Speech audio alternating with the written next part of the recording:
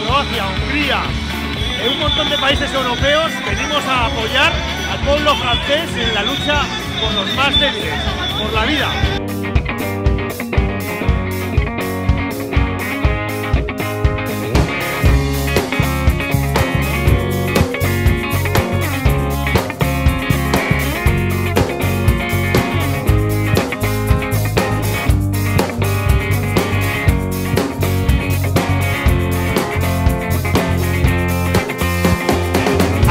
Hoy, en Francia, venimos a defender la vida.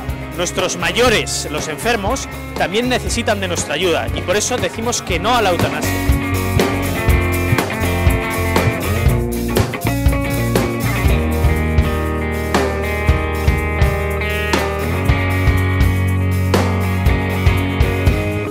Go, go!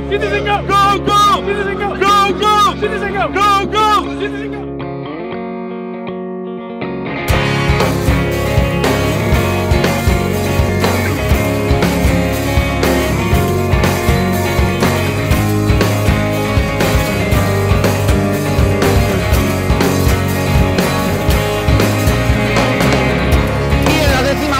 la vida en París, como veis, estamos en Les Invalides.